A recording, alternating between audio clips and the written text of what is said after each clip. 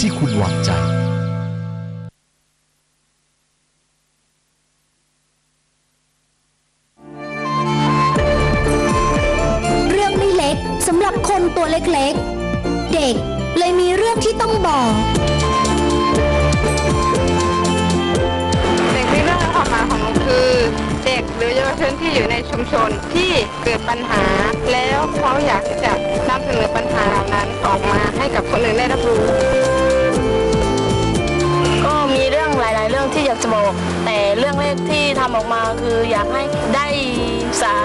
ธารณูปโภคขั้นพื้นฐานมาก่อนนะคะ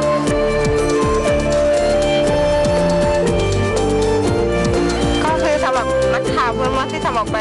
คือเราไม่ได้เรียกร้องสิทธิ์ให้กอพามีไฟฟ้าใช้เพียงอย่างเดียวแต่เราเรียกร้องสิทธิ์ให้กับชุมชนอื่น ได้รู้ว่าเออเราก็มีปัญหาคล้ายๆกัน แล้วก็แบบเออมีการเรียกร้องสิทธิ์ของเรา และเราก็ยังทำแบบสะท้อนให้รัฐบาลหน่วยงานที่เกี่ยวข้องเขาเห็นว่าเออมันยังมีจุดที่เขายังไม่ได้แก้ไข ซึ่งเขาไม่ได้วางพัฒนาจุดที่แบบเป็นรากหญ้าเป็นคนในพื้นที่เป็นคนแบบดั้งเดิมของเขามันทำให้แบบเกิดข้อแตกต่างถ้าเกิดว่าจุดจุดนั้นที่มีปัญหาได้เกิดการแก้ไขกับการพัฒนามันก็ทำให้เราสามารถมองได้ว่าภูเก็ตก็เป็นเมืองสวรรค์สำหรับเขาเหมือนกับที่นักท่องเที่ยวมองภูเก็ตเป็นเมืองสวรรค์สำหรับนักท่องเที่ยวได้เหมือนกัน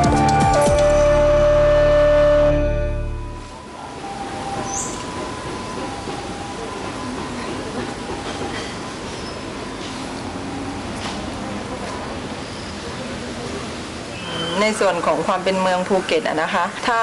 คนรอบๆจะมองว่าเป็นเมืองท่องเที่ยวที่ติดอันดับโลก มีทรัพยากรธรรมชาตินะคะเป็นเป็นเป็นที่ท่องเที่ยวนะคะ คือต่างชาติทุกชาติก็มุ่งที่จะมาเที่ยวที่นี่นะคะ เป็นเมืองที่ติดอันดับนะคะในการพัฒนาของประเทศ ก็คือว่ามุ่งเน้นเพราะว่าการท่องเที่ยวเนี่ยถือว่าเป็นรายได้ส่วนใหญ่ที่ว่าสามารถนำเข้ามาพัฒนาประเทศได้นะคะ ถ้าพูดถึงจังหวัดภูเก็ตใช่ไหมคะ ทุกคนก็จะนึกถึงเมืองศรีวิไลที่มีนักท่องเที่ยวเยอะ มีแหล่งท่องเที่ยวเยอะค่ะ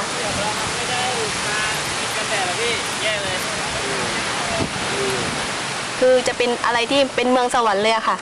ภูเก็ตเป็นเมืองที่แบบศรีวิไลแบบท่องเที่ยวมีทุกอย่าง ก็ไม่เป็นสองรองกับกรุงเทพแล้วก็เป็นเกาะที่แบบใหญ่ที่สุดในประเทศไทย มันก็เป็นเมืองที่แบบน่าอยู่ใครๆก็อยากจะมาภูเก็ต จากต้นทุนเหล่านี้เองจึงทำให้มีการดึงดูดนักท่องเที่ยว นักธุรกิจผู้ประกอบการเข้ามาในจังหวัดภูเก็ตทำให้เกิดการพัฒนาเพื่อรองรับนักท่องเที่ยวทำให้ภูเก็ตเป็นเมืองไข่มุกของอันดามันสวรรค์ของนักท่องเที่ยว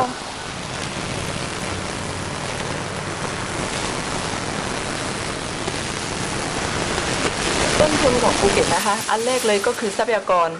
ชายหาดเกาะแก่งทะเล ซึ่งมันมันสวยมันมันมันสวยงามมันมันหาแล้วมันไม่เหมือนที่อื่น เมื่อมีนักท่องเที่ยวมาเยอะก็จะเกิดการพัฒนาหรือว่ามีเศรษฐกิจเข้ามาเยอะก็จะมีการคือสร้างทุกสิ่งทุกอย่างเพื่อให้เป็นเมืองน่าเที่ยวค่ะ ทีนี้สิ่งเหล่านี้มันเป็นสิ่งที่ล่อตาล่อใจให้นัก ลงทุนทั้งในประเทศแล้วก็ต่างประเทศ แม้แต่ชนชั้นแรงงานของพวกเราเนี่ยก็หลั่งไหลเข้ามาทำงานในในภูเก็ตนะคะเพราะว่าถือว่าเป็นแหล่งสร้างอาชีพด้วย คนภูเก็ตดั้งเดิมนะส่วนใหญ่อะค่อนข้างมีฐานะ ตอนนี้ก็ยังเหลือสัก 20%ของประชากรภูเก็ตนะคะ ส่วนที่เหลืออีก 75%ก็ถือว่าเป็นคนที่อพยพมาจากจังหวัดอื่นเข้ามาทำงาน หาเงินเลี้ยงชีพ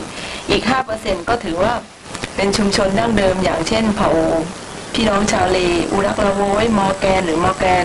เพราะว่า 75%ของประชากรภูเก็ตเนี่ยมันมาจากที่อื่นมาโดยที่ไม่มีอะไรติดตัวมาเลย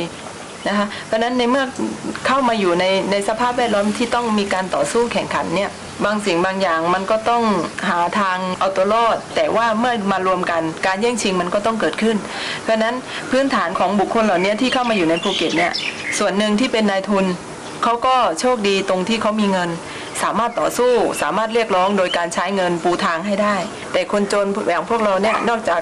จับจองดิ้นรนหรือบุกรุกอ่านในพูดกันง่าย ๆ ถ้าเราไม่ใช้วิธีการอย่างเนี้ยมันก็อยู่ไม่ได้ และสุดท้าย ถ้าพอเราทำอย่างนี้ปัญหาต่างๆ มันก็เกิด แต่ถามว่าเราอยากสร้างปัญหาให้กับสังคมไหมเราไม่ได้อยากสร้างปัญหา แต่เราอยากมีที่ยืนในสังคมบ้างแค่นั้นเองค่ะปัญหาของคนจนเมืองที่เห็นชัดๆก็คือหนึ่งเรื่องที่อยู่อาศัย ที่ดินที่อยู่อาศัย เรื่องที่ทำกินไม่ต้องพูดถึงเพราะว่าที่ทำกินในภูเก็ตนี่ที่ดินมันจำกัดมาก ส่วนใหญ่จะหมดไปให้กับนายทุนทั้งนั้น นอกเหนือจากนี้มันก็จะมีเรื่องของปัญหาสาธารณูปโภคเพราะว่าจะมาขอน้ำขอไฟกลายเป็นว่ามาติดขัดเรื่องที่ดิน คุณไม่มีเอกสารสิทธิ์เกี่ยวกับที่ดินนะไม่มีหนังสือเช่า ไม่มีโฉนด ไม่มีหนังสืออนุญาตให้ใช้ ก็คือสำหรับนักท่องเที่ยวจะมองว่าภูเก็ตเป็นเมืองสวรรค์เป็นเมืองที่มีทุกสิ่งทุกอย่างพร้อม ในมุมกลับกันก็จะมีชุมชนเล็กๆ หรือแม้แต่ชุมชนดั้งเดิมชุมชนที่มีการอพยพเข้ามาเพื่อจะทำการประกอบอาชีพเขาจะมองต่างกับนักท่องเที่ยว เพราะว่าเขาแบบยังขาดสิ่งที่แบบนักท่องเที่ยวมีเขาขาดก็มีพวกความจำเป็นพื้นฐานคือฐานรูปพื้นฐานเลยคือไฟฟ้าประปาที่อยู่อาศัยอะไรอย่างเงี้ยค่ะคือเป็นสิ่งที่จำเป็นของเขาเลยค่ะมันไม่แฟร์มันไม่เท่าเทียมกันอะคือเหมือนกับเขาแบ่งแบ่งว่าเออในเมื่อเมืองภูเก็ตทำให้เขามีรายได้เพิ่มขึ้นสูงขึ้นเขาก็ต้องพัฒนาตรงนั้นอย่างเดียวเลยโดยไม่มองว่าเออชุมชน เขาก็เป็นคนที่แบบสามารถสร้างรายได้ให้กับภูเก็ตได้เหมือนกัน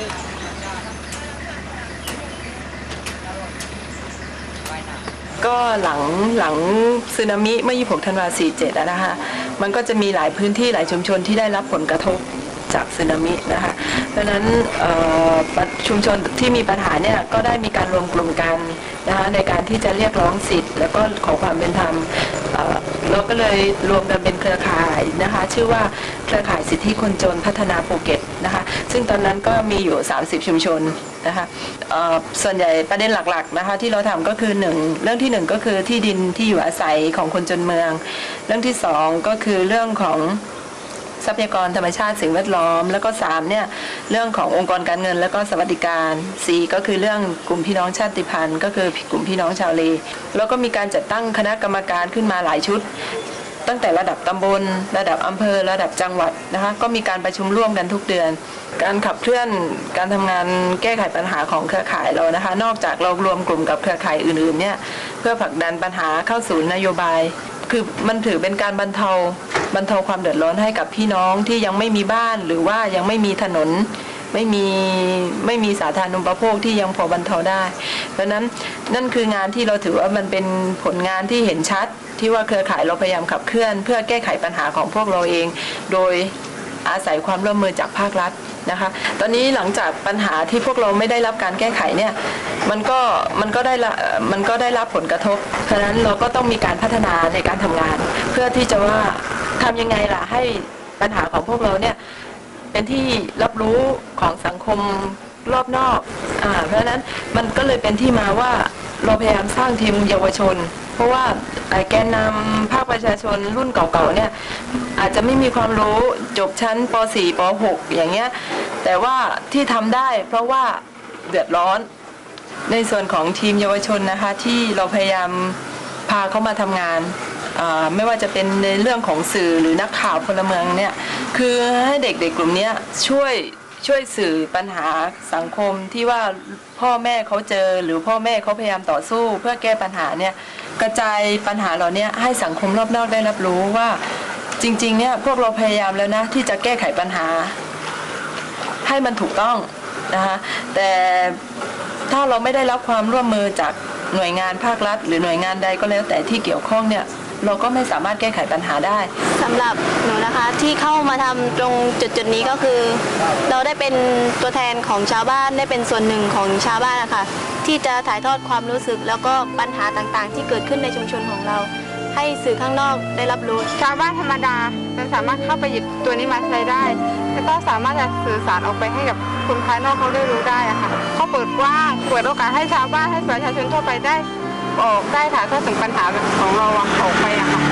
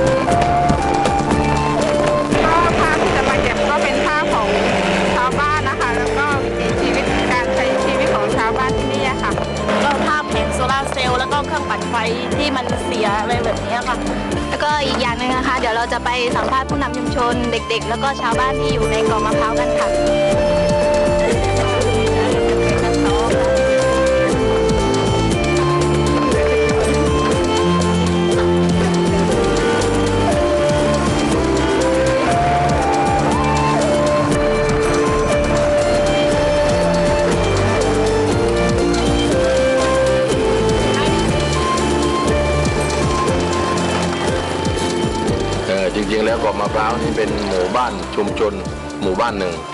ของตำบลเกาะแก้ว แต่ของผมนี่เป็นหมู่ที่6หมู่ที่6นี่คืออยู่บนเกาะมะพร้าวทั้งเกาะในพื้นที่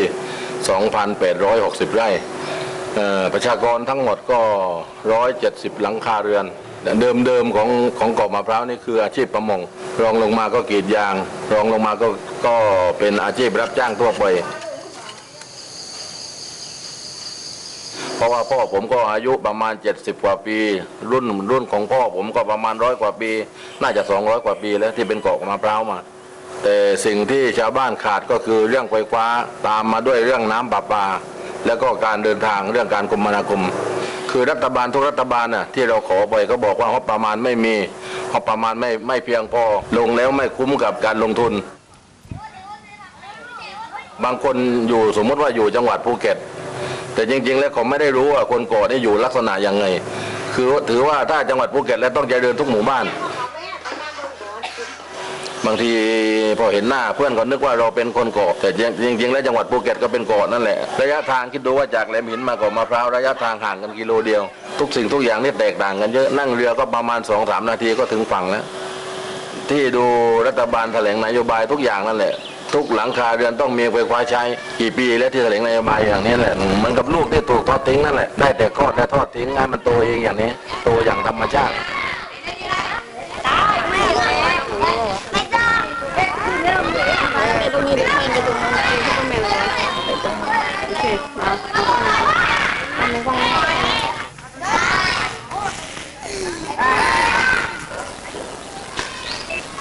ทุกคนช่วยกันช่วยกันถ่าย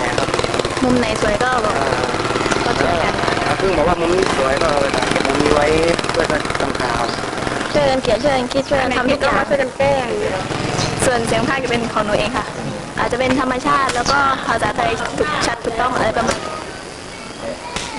โอ้ยุ่งมากเลยถ้าอย่างสามโลวันนี้อย่างตัวจะมาจ้ะก็ได้ไปตักมันแค่สามโลนี่มั้งอ๋อเหลือเวลาย้วนทำมากมาอยู่ว่าไม่มีไฟฟ้าใช้ คนเนี่ยลำบากไปแล้วนะคนลำบากไปแล้วว่าทั้งว่าพวกหมาอยู่ทั้งสาวไร่แต่แล้วนี้ทั้งหกสิบโรคไปแล้วที่แรกเปิดความไม่ถึงหกสิบโรคมาตั้งแต่เกิดอ๋อตายตายก็เขาบอกว่าเขาอยู่ที่นี่มานานแล้วคือแบบตายตายมาหลายรุ่นแล้วค่ะเขาก็อยู่มาตั้งแต่เกิดเออแต่เขาก็ยังไม่ได้ไฟไม่ฟ้าไม่ใช้เป็นปลาเลยเพราะว่า ไปดูแล้วไหมวะไฟฟ้าก็เป็นสิ่งที่จำเป็นค่ะของทุกคนในหมู่บ้านเลย เพราะว่าไม่ว่าจะเป็นใช้ในการประปาใช้ในการเดินทาง แล้วก็ใช้ในการเรียน ไฟฟ้าตอนนี้ก็เป็นไฟเครื่องปั่นไฟแล้วก็โซลาเซลล์ซึ่งเครื่องปั่นไฟเขามีระยะเวลาแค่สั้นๆนะคะจากช่วงทุ่มหนึ่งถึงสี่ทุ่ม ซึ่งมันก็แค่เวลาแค่แบบ ไม่นานนักแผงโซลาร์เซลล์มันก็มีอายุการใช้งานที่น้อย ถ้าเกิดว่าวันไหนแดดไม่ออก มันก็ไม่มีแสงให้เรา เราก็แบบทำอะไรกับมันไม่ได้อะค่ะ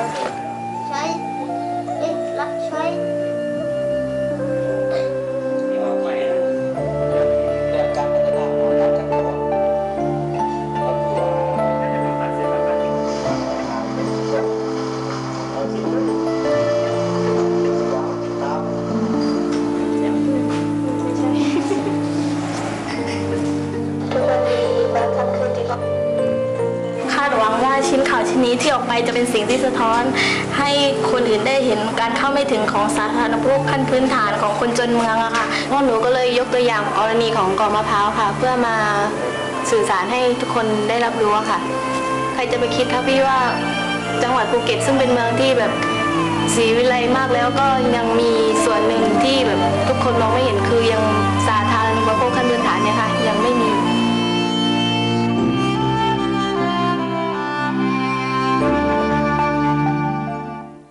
ชาวชุมชนเกาะมะพร้าวจังหวัดภูเก็ตยังต้องใช้ไฟฟ้าจากเครื่องปั่นไฟมานานนับ 10 ปีแล้วนะครับแม้จะเป็นชุมชนที่ตั้งอยู่ในเกาะกลางทะเล แต่พวกเขาก็ได้ทวงถามถึงสิทธิ์ในการเข้าถึงสาธารณูปโภคด้วยเช่นกัน ติดตามรายงานจากนักข่าวพลเมืองเยาวชน เครือข่ายสิทธิคนจนพัฒนาจังหวัดภูเก็ตครับ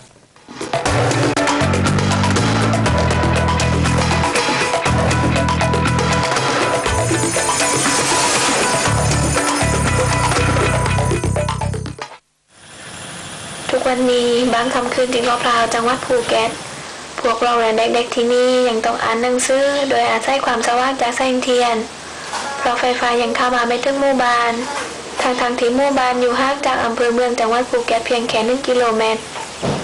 และสิบปีมาแล้วที่เกาะพร้าวยังไม่มีไฟฟ้าใช้และแสงสว่างที่ได้รับในยามกลางคืนมาจากแผ่นพลังงานแสงอาทิตย์และเครื่องปั่นไฟด้วยอายุการใช้งานไม่ยืดยาวและสิ้นเปลือง หน่วยงานที่รับผิดชอบบอกจะแก้ไขให้แต่เวลาก็ผ่านไปนานหลายปีแล้วเครื่องเครื่องเครื่องปั่นไฟอะมาทั้งหมดสี่ลูกยืดยืดอะไรจุด จุดละจุดละประมาณสิบพลังยี่สิบพลังของเกาะนะแต่ว่าการกวยควานี่เขาบอกว่าประมาณปลายปีห้าสี่นี้เขาจะข้ามา แต่ว่าก็ก็มาสำรวจเรียบร้อยหมดแล้วบอกมาเรื่อยเลยสี่สามก็บอกสี่ห้านี่จะมาสี่ห้าเลยก็บอกว่าสี่แปดมาพอสี่แปดเลยก็ว่าห้าสิบมาห้าสิบนี่ก็บอกห้าห้าสี่ห้าสี่ห้าห้าหลายอีกหลายชุมชนในจังหวัดภูเก็ตยังต้องเผชิญกับการไม่มีกรรมสิทธิ์ในที่ดินที่อยู่มานาน เช่นชุมชนปากตักพัฒนาหลังจากผ่านการเรียกร้องเพื่อให้ได้มาสิ่งที่อยู่อาศัยจากนายทุนที่ครอบครองที่ดินเกินแนวเขตในเอกสารสิ้นแล้ว ยังมีปัญหาการใช้ไฟฟ้าเช่นเดียวกันกับกาะพราวทำให้ชาวบ้านที่นี่ต้องต่อไฟฟ้าจากชุมชนใกล้เคียงทำให้จ่ายค่าไฟฟ้าแพงกว่าปกติ ชุมชนปากตักจึงยังไม่มีไฟฟ้าใช้ก็เพราะว่าที่บ้านมาที่ดินยังไม่ถูกต้องออที่ดินได้รับการพัฒนามาตามขั้นตอนคือว่ามีการรวบรวมของชาวบ้าน มีเรื่องของอมทรัพย์ มีเรื่องของท่าทีอื่นๆเอ่อก็มาสนับสนุน ในการทำให้ชาวบ้านมีโอกาสได้ที่จะทำมาหากินอยู่ในพื้นดินพื้นนี้ได้ แต่ว่าปัญหาทางกฎหมายเอ่อถึงยังพูดกันง่ายๆว่าตอนนี้ยังไม่เรียบร้อยเนี่ยเป็นใจรักดีตึกว่านี่ไม่สามารถเข้ามากระยายเขตให้พี่น้องยุบยมเจ้าปากกตักแต่งตามที่ลังเนี่ยได้ใจไฟฟ้าอยังถูกต้องตามกฎหมายได้ภูเก็ตเป็นแหล่งท่องเที่ยวชื่อดังของไทยทำให้นักท่องเที่ยวและคนต่างถิ่นเข้ามาอาศัยและประกอบธุรกิจที่นี่ การพัฒนาสาธารณูปโภคเพื่อรับรองอุตสาหกรรมท่องเที่ยว จึงเป็นเป้าหมายหลักแต่ชุมชนท้องถิ่นอีกจำนวนมากกลับยังเข้าไม่ถึงสิทธิเหล่านั้น จึงเกิดความแตกต่าง ความพยายามเข้าถึงสาธารณูปโภคของคนจนภูเก็ต ไม่ใช่การลงข้อ แต่คือสิ่งที่ควรจะได้รับตามสิทธิที่ควรได้ได้มีโอกาสได้เป็นส่วนหนึ่งของการรวมดูแลและวางแผนทิศทางของเมืองที่ตนเองได้ฝากชีวิตอยู่ จนชัวลูกชัวล้าน นักข่าวพลเมืองเยาวชนเครือข่ายสิทธิคนจนพัฒนาภูเก็ตรายงาน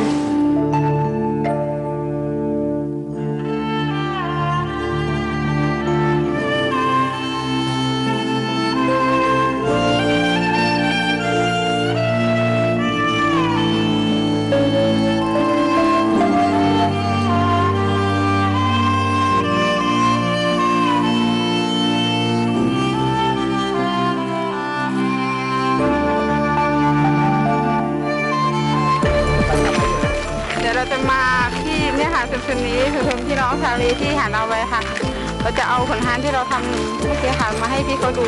เพราะว่าพี่เขาก็เจ็บจะมีเป็นชุมชนนั่งเดิมอาหารแล้วเขาก็เจอปัญหาเดียวกับเราเหมือนกันคือปัญหาการไม่มีไฟฟ้าใช้ค่ะแล้วเราก็จะถามเขาดูว่าเขาอะมีความคิดเห็นยังไงในการทำวิดีโอของเราอันนี้ครั้งนี้อะค่ะ ก็เนี่ยทำกันสี่คนก็ช่วยช่วยกันนี่เป็นหลักเข้าในเครือข่ายแล้วก็ทำเข้าการไม่มีไฟฟ้าใช้ของชุมชนไม้เลยพวกเราและเด็กๆที่นี่ยังต้องอ่านหนังสือโดยอาศัยความสว่างจากแสงเทียน เพราะไฟฟ้ายังเข้ามาไม่ถึงหมู่บ้านทางทางๆที่หมู่บ้านอยู่ห่างจากอำเภอเมืองจังหวัดภูเก็ตเพียงแค่หนึ่งกิโลเมตรเดี๋ยวได้เลยวันนี้เดี๋ยวมีความรู้สึกมันเป็นบ้างอะได้เลยทีมงานที่นี่ไปอะ ทีนี้ทีนี้ดีว่าเออน้องมีความสามารถเกี่ยวกับความรู้สึกของชาวบ้านปัญหาที่แท้จริงอะซึ่งสู้ใครกับทีวีเอาใครสังคมได้ตัวตัวในจุนปฏิไทยเนี่ยมีคนอย่างคาดจ้างมาปลูกเนื้อแต่ว่าเลยแล้วผมรู้สึกดีนะแต่ว่านะแต่ค่ายเราก็มีเด็กที่พัฒนานะได้ทำข้าวได้ แล้วก็พราะว่าเลยในการสัมภาษณ์มันกับเดียวก็คือมันมันโอในแนวแนในแนววินาวิชาการ ถ้าเราในโอแบบเนี่ยแบบบ้านๆนั่นวะ เราไม่มีไฟไฟฟ้าใช้นี่นี่คือเทียนเราก็ยกนี่นะคุยกลางคืนดีกว่าให้บุงบอกให้ชัดขึ้นเพราะว่าไฟเราเรากับข้าวเลยไม่มีไฟฟ้าใช้ถูกต้องไหมบอกว่าในภูเก็ตอะค่ะมันไม่มีแค่ไฟฟ้ากระตากหรือว่าหัวพระอย่างเดียวที่แบบมีไฟฟ้าใช้เอ้ยไม่มีไฟฟ้าใช้มันยังมีชุมชนอื่นๆหรือเพราะว่าเออถ้าแบบว่าเราสามารถรวบรวมไอ้แหล่งเหล่านี้มาได้ค่ะมันก็จะเป็นผลดีเราจะได้รู้ว่าเออในภูเก็ตนี้มีชุมชนไหนบ้างที่ว่ายังไม่มีไฟฟ้าใช้อะไรเงี้ย เดี๋ยวเราจะเอาต่างชาติที่เข้ามาเที่ยวในหาดเราไว้ได้ดูข่าวที่เราทำออกไป ที่เขาคิดว่าภูเก็ตเป็นเมืองสวรรค์แต่ดูข่าวที่นี้เขาอาจจะคิดไปในอีกมุมหนึ่งก็ได้ค่ะ เห็นถึงเห็นถึงความแตกต่างของเมืองสองเมืองเลยค่ะ เมืองชุมชนกับเมืองในเมืองภูเก็ตเนี่ยค่ะ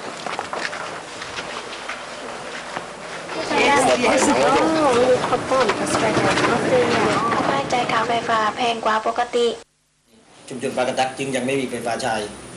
ก็เพราะว่าที่บ้านมาที่ดินยังไม่ถูกต้องเอ่อที่ดิน Oh, I think it's a very good idea because I think people need to know that there is a problem. Um, I'm really surprised because I work in Phuket town and yeah, and I would never have known that there was a village there that with people that don't have electricity, you know, because uh, over here you have very poor people and